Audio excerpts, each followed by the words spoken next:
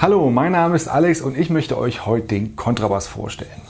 Der Kontrabass ist das tiefste aller Streichinstrumente, das heißt, man spielt es eigentlich mit dem Bogen.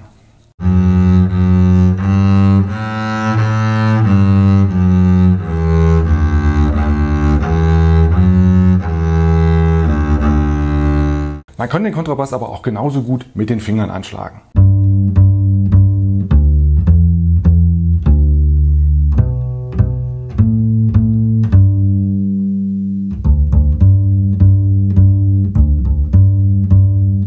Wie ich schon gesagt habe, der Kontrabass ist das größte der Streichinstrumente oder ist das größte Streichinstrument, was es gibt. Aber keine Angst, du musst nicht mindestens 1,70 groß sein, um dieses Instrument, Instrument überhaupt spielen zu können. Denn es gibt ihn in verschiedenen Größen.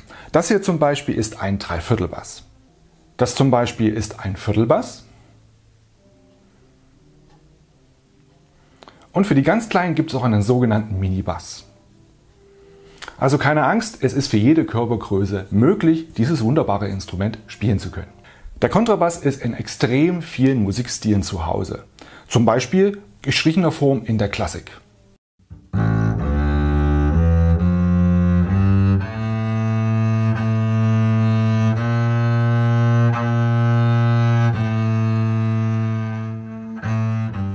aber auch in modernen Spielstilen, zum Beispiel Pop, Rock, Country oder Jazz.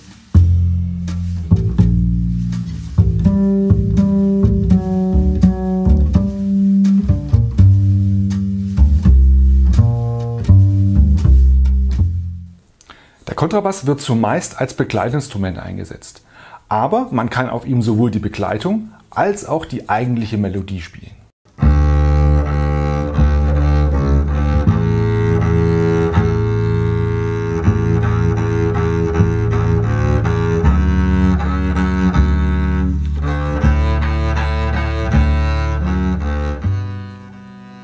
Aufgrund dessen, dass es den Kontrabass in so wahnsinnig vielen Größen gibt, gibt es eigentlich auch keine wirkliche Altersbeschränkung. Das heißt, du kannst eigentlich mit der ersten Klasse loslegen, den Kontrabass zu spielen.